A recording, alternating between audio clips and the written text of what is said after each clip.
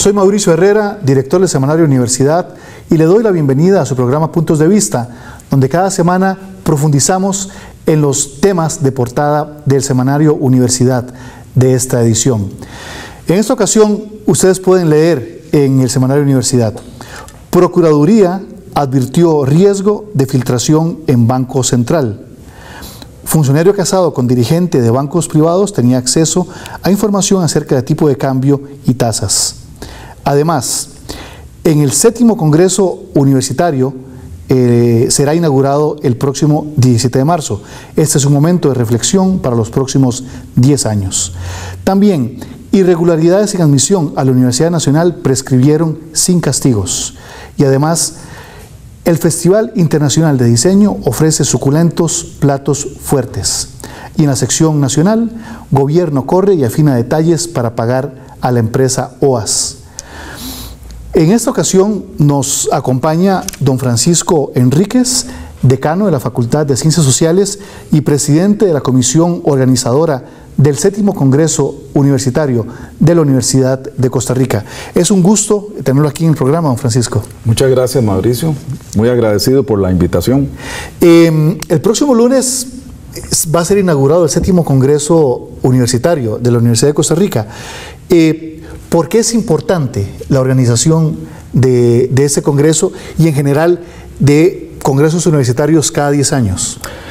Bueno, eh, este congreso es importante porque primero eh, estamos acatando algo que está en el estatuto orgánico de la Universidad de Costa Rica, que, que, casualmente este, este mes de marzo está cumpliendo 40 años de haberse puesto en uh -huh. práctica y surgió del tercer Congreso Universitario. Uh -huh. eh, de acuerdo al estatuto or, eh, orgánico, dice que la universidad cada 10 años debe conglomerarse para reflexionar sobre eh, qué hacer por medio de un congreso universitario y que este congreso universitario debe ser convocado por el Consejo Universitario. Uh -huh. Es así que entonces desde el año eh, fines del 2012 el Consejo Universitario convocó a la comunidad universitaria a Congreso Universitario y en ese sentido eh, designó una comisión organizadora representante de, de, todas las áreas de la universidad de la cual yo soy parte y fui designado presidente. Uh -huh.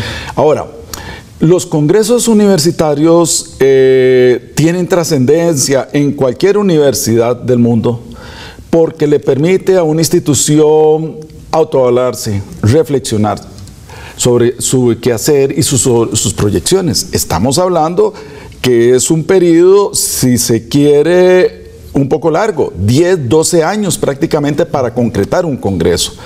Estamos hablando en este momento de un congreso para ver a la universidad en el desarrollo del siglo XXI. Entonces eso nos hace repasar un poco la, la historia eh, a, a, nivel de congresos. El primer congreso universitario lo tuvo la Universidad de Costa Rica en 1946, a escasos cinco años de su fundación. Pero digamos, en un, en un congreso lo que, plantea, lo que se plantea la institución es eh, vamos a ver, los funcionarios, estudiantes y docentes eh, plantean sus propuestas, plantean sus ideas eh, para mm, acerca de lo que quieren ver o lo, o lo que quisieran en claro. que, que, se convirtiera su institución. En, en este caso, ¿cómo, cómo esas distintas visiones terminan convirtiéndose en algo que termina impactando a la universidad y al país. Claro. Bueno, nada más para retomar uh -huh. un poco el ejemplo histórico. Los estudios generales que tenemos hoy día y que, que, es orgullo de la universidad surgen de Congreso Universitario. El trabajo comunal universitario surge de, Congreso Universitario. Y así podemos ir haciendo, por ejemplo, eh, ahora hice referencia al Estatuto Orgánico que norma todo el, el, funcionamiento de esta universidad, surge un congreso universitario donde surgen las vicerrectorías, donde surgen las funciones del consejo, del rector, pero también nos deja, ya empieza a surgir el interrogante. Bueno, después de 40 años está, de estar funcionando este estatuto orgánico, es, eh, que surgió al, eh, eh, en siglo XX, uh -huh. está acorde con ya necesidades del siglo XXI. ¿Cuáles son las necesidades del siglo XXI uh -huh.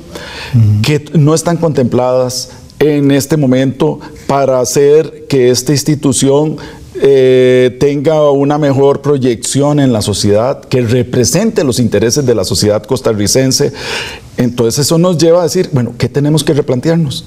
¿Qué tenemos que mejorar? Pero también, ¿qué tenemos que desechar?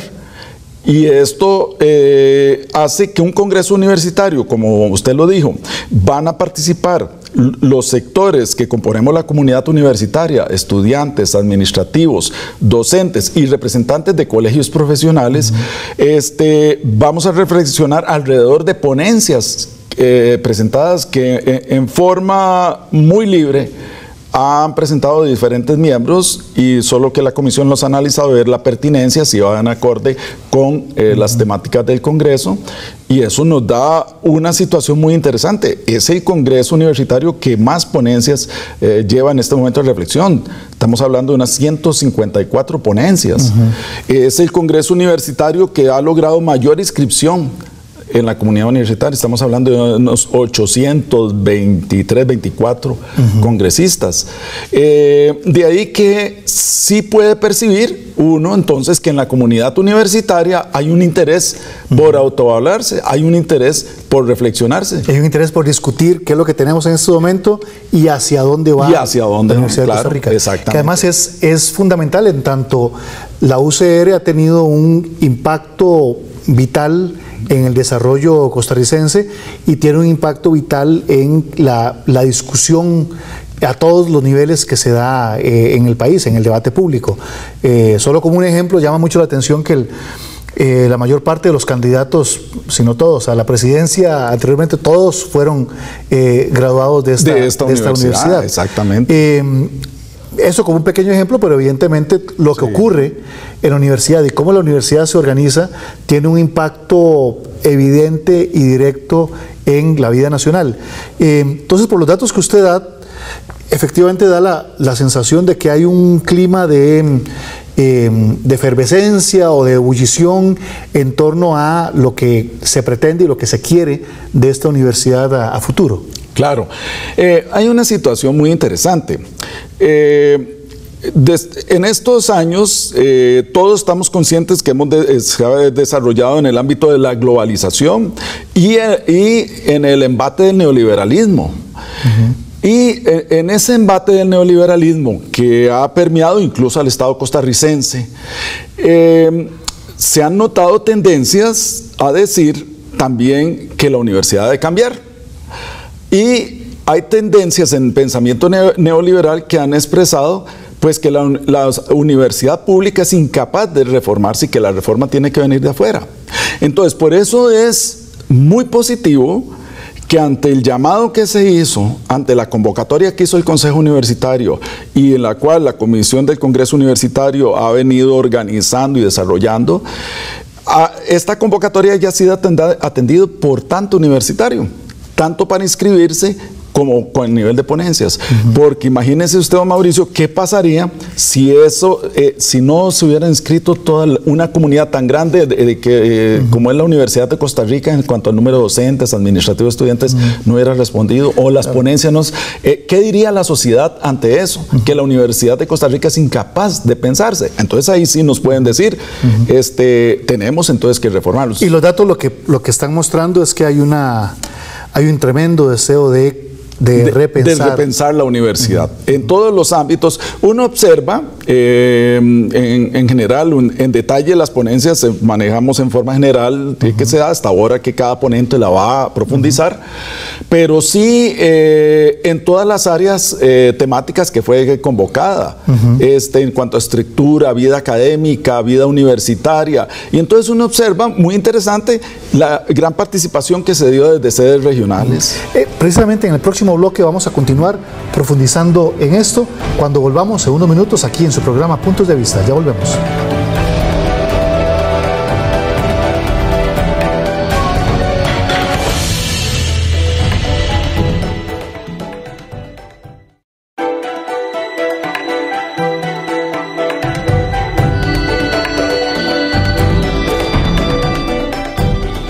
Gracias por continuar con nosotros en su programa Puntos de Vista.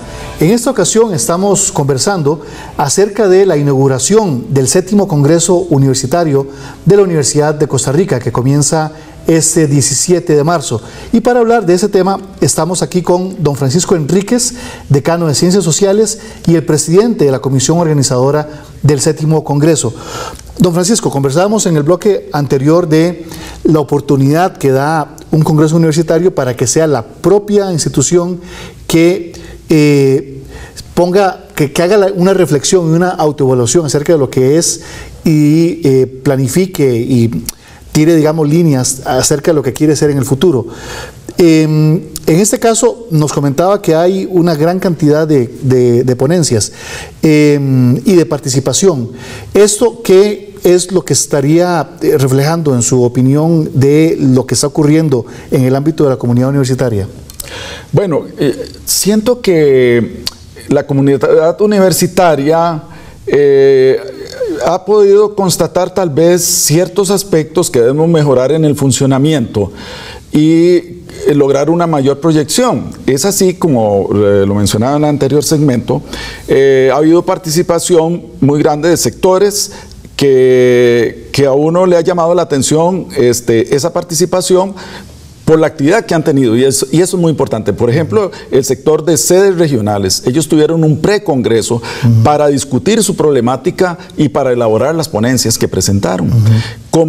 Entonces vienen con visiones concretas de cómo debe de las sedes de realizar un trabajo más efectivo, cómo la Universidad de Costa Rica debe proyectarse mejor por medio de las sedes, cómo tener más carreras interdisciplinarias, compartir más eh, eh, las desarrollar más la investigación en, las sedes para las regiones. Además de esto, ¿cuáles son otros temas que uno diría candentes?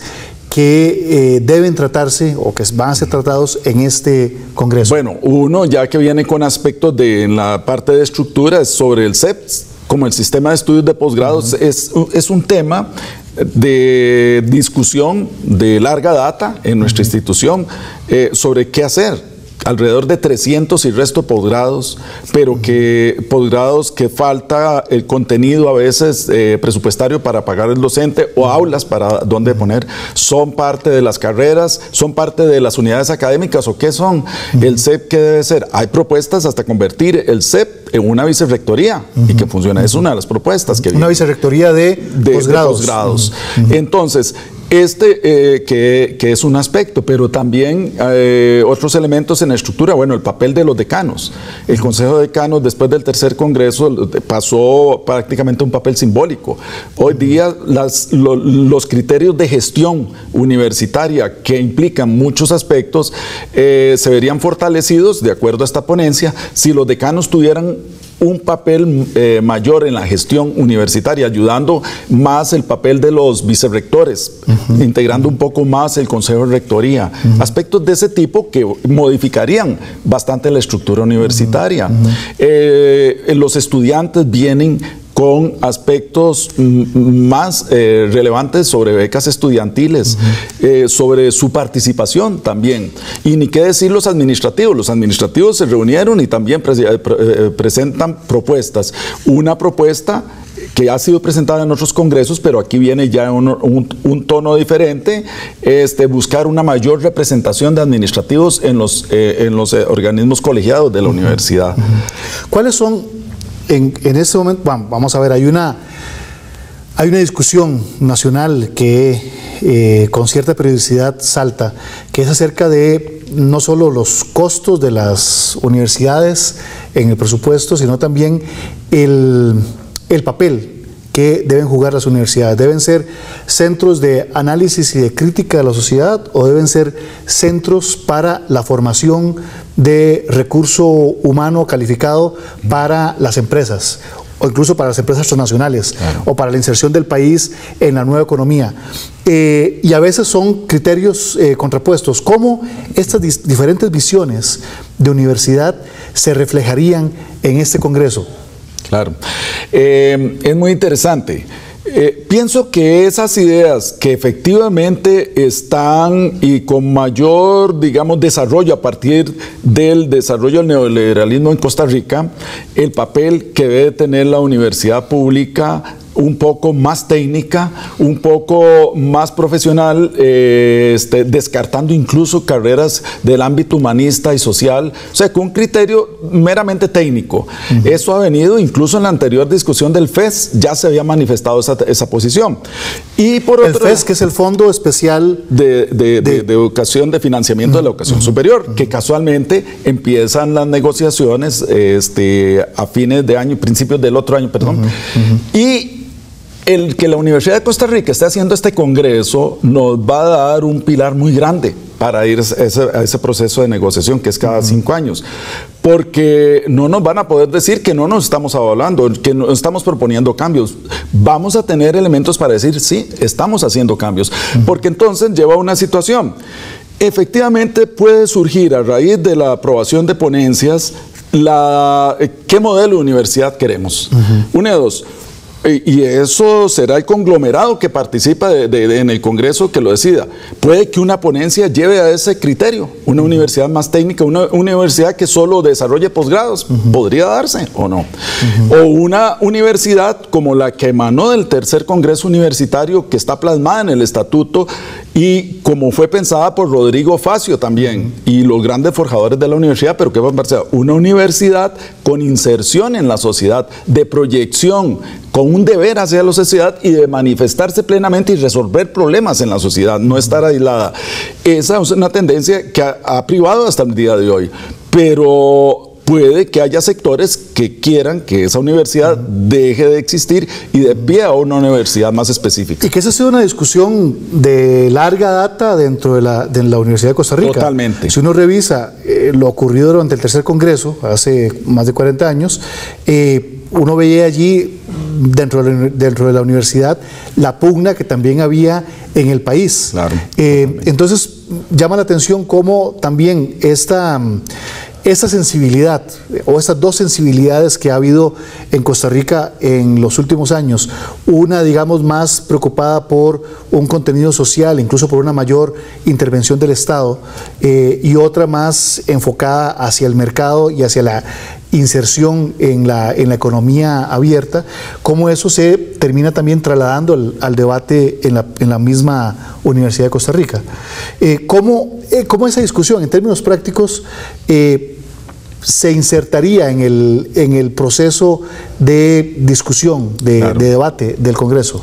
Bueno, en el proceso de debate ya pasó a la etapa de inscripción de ponencias y cualquier persona puede ver las ponencias, no es un documento secreto, están en la página web del Congreso donde dice ponencia, se abre y se despliega, ahí está la ponencia, un PDF y las pueden ver.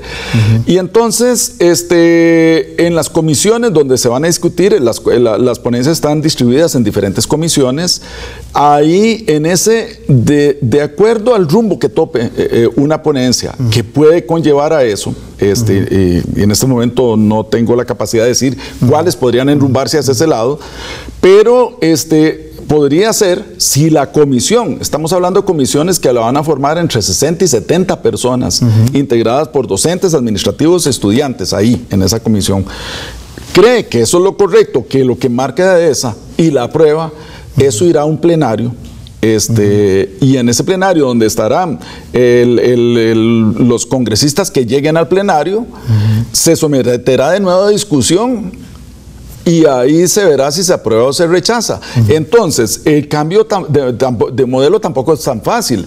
Eh, o sea, una posición sobre un tipo de universidad requiere que eh, haya un consenso para que se llegue a ese tipo de universidad.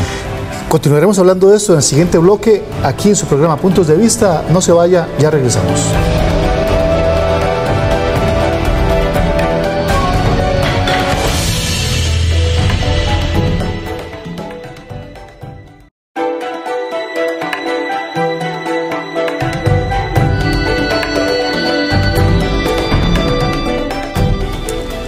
Gracias por continuar con nosotros. En esta ocasión estamos conversando aquí en su programa Puntos de Vista acerca de la inauguración del séptimo Congreso Universitario de la UCR que arrancará este lunes 17 de marzo.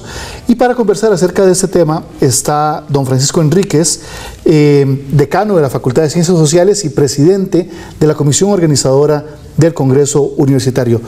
Don Francisco, estábamos conversando acerca de mm, los principales temas de, discusión y los eh, dilemas fundamentales que se podrían enfrentar en este séptimo Congreso, pero ¿cómo es que una, cómo es que una propuesta, una idea de un grupo de congresistas, de un grupo de funcionarios o docentes o estudiantes, eh, pasa de ser idea a una mm, realidad que se aplique, que tiene impacto en la vida de la UCR y en la vida del país. Claro. Bueno, eh, sobre esto eh, hay ponencias presentadas por una, dos personas o varios grupos de personas que se pusieron de acuerdo, reflexionaron y la presentaron. Este, y estoy seguro que muchas de esas ponencias han surgido ya de una reflexión muy profunda en oficinas, institutos, centros, unidades académicas sobre algo. Eh, o sea, no es solo la persona que la presenta, es con el respaldo puede de mucha gente. Entonces, al, ir a esa comisión, la persona que la presente va a tratar de explicarle al resto de los congresistas la importancia de hacer cierto cambio o una innovación.